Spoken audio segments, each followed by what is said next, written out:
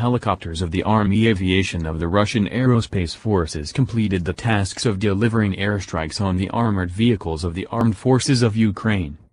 The crew of the Ka-52 helicopter, flying at extremely low altitude, discovered the target, captured it and launched missiles, destroying the camouflaged equipment.